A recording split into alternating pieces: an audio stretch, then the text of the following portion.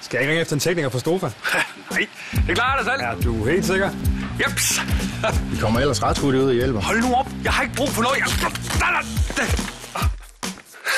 Sådan dog. Hvad sagde jeg? Ja, det er hurtigt at få en tekniker ud fra Stofa, og så koster det ikke alverden. Du kan også ringe til teknisk support, hvis du for eksempel har et spørgsmål til vores produkter. Eller vil have et godt tilbud. For 20 megabit lynhurtigt stå for bredbånd til kun 189 om måneden.